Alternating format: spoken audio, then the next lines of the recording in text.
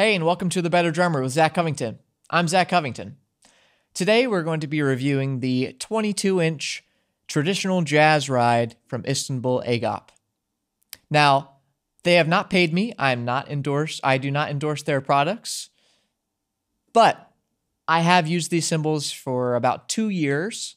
And this cymbal in particular has been the cymbal that I have brought to, I think, every single gig.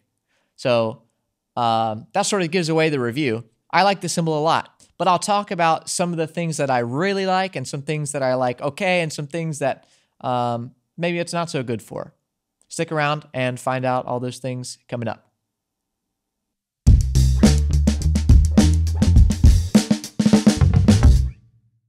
First, I'm just going to play the cymbal like our favorite video reviews do.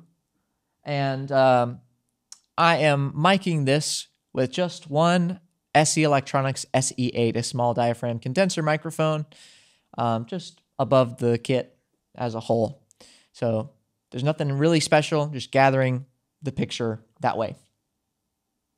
Here it is.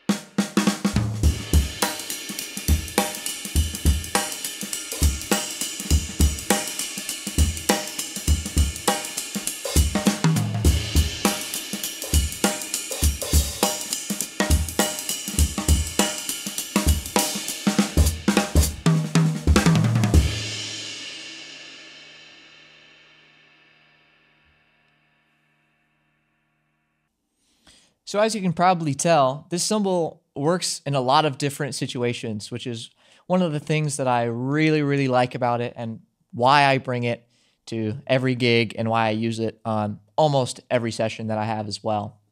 Another great thing about this cymbal is that it has a great crash sound and is very uh, differentiable, if that's a word, uh, from the just hitting the cymbal on top. So you can get both sounds and they have their distinct sounds. The stick definition is not lost after crashing afterwards.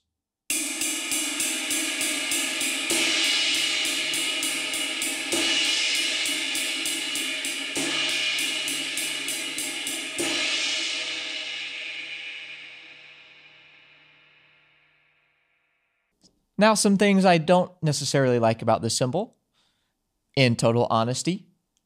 Um, I can only, and this is probably a little bit of my fault, uh, but I can only really get a certain dynamic range out of this cymbal.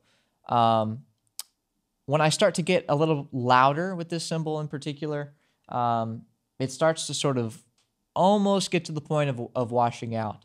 Um, from my perspective, at least, it could very well sound totally fine, and it probably does, um, audience perspective. Um, but from my perspective, it sounds like it washes out just a little bit when we get up into the the higher volumes. Um, the other part of the dynamics is that it doesn't take very much for this cymbal to get into that sort of louder dynamic range.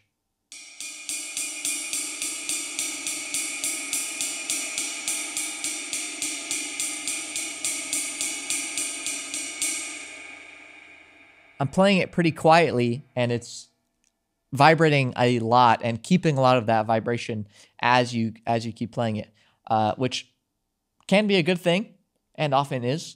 Um, but in the case of maintaining a certain uh, volume uh, on the quieter side, it's a little bit tricky for that.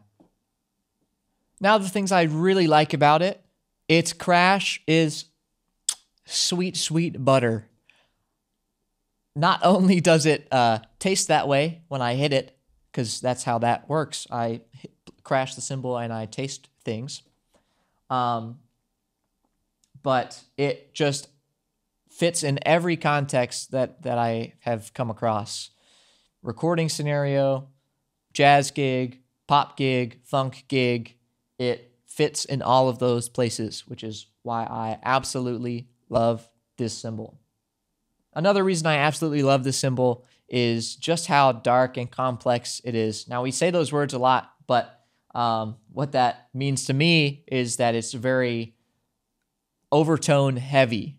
Uh, and I don't mean ringy, I just mean overtone heavy. It's a very, you can't really tell what the pitch of the cymbal is because there's so much happening with the cymbal, um, which is something that I really love. So this has been my review of the 22-inch traditional jazz ride from Istanbul Agop. Again, I do not endorse them. There was no change of hands. I bought the cymbal uh, a few years ago and have used it ever since. So I have put many hours in this cymbal um, and really can say it is a great cymbal. And if you have the cashola lying around or, or are in the market for a new cymbal, this cymbal is a fantastic one that you could not go wrong with. Thanks so much for watching this video today. If you liked what you saw, you can hit the like and subscribe button so that I can feed my raccoon. Thanks again for watching, and I'll see you when you're a better drummer.